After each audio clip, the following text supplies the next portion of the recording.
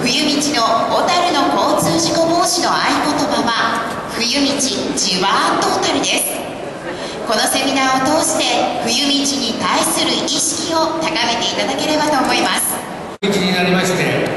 えー、車の免許のお持ちの方は冬道運転の運転の切り替えというのをされているというふうに思います、えー、皆さんご存知の通り冬道は大変滑りますし滑るからこそ、えー、夏だと起こさない事故を起こす場合もございます、えー、その冬道においてなんとか事故を起こさないようにということでドライバーの方々ぜひじわっという形での運転を取り組んでいただきたいというのがこの、えー、活動の一つでございます。今年は全国的には残念でありますが137人の方が交通事故で亡くなっておりますまあ昨年よりマイナス7人と少傾向であります交通事故、人身事故でございますが、これもけが人も全体的には減っている傾向にあります。しかしながら、残念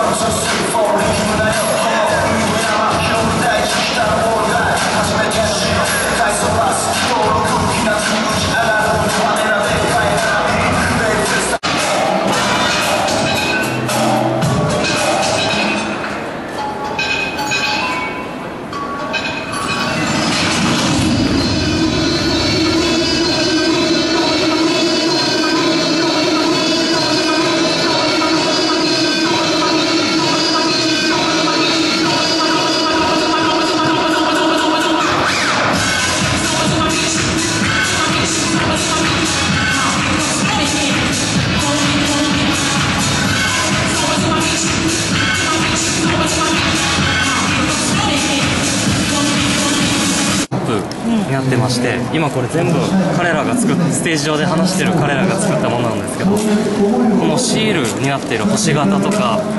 このハート型とかこれが全部夜光反射材になってまして売ってないんです。あの今今回100個ご用意させていただいて全部手作りで。でこれから配られると思うんですけどはい。